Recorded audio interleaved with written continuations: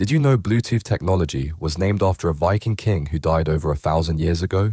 Harald Bluetooth Gormson ruled Denmark around 970 AD and earned his nickname from a distinctive blue-black dead tooth. But here's the crazy part.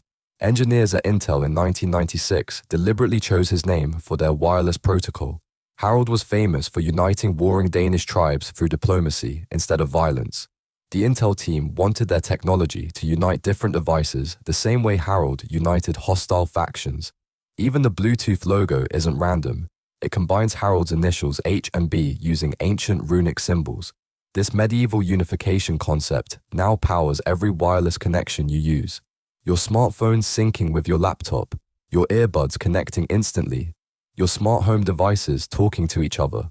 Modern AI productivity tools rely on this same principle, seamlessly connecting your automated workflows across phones, computers, and office equipment.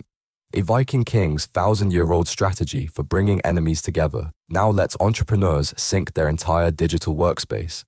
Ancient diplomacy meets modern productivity.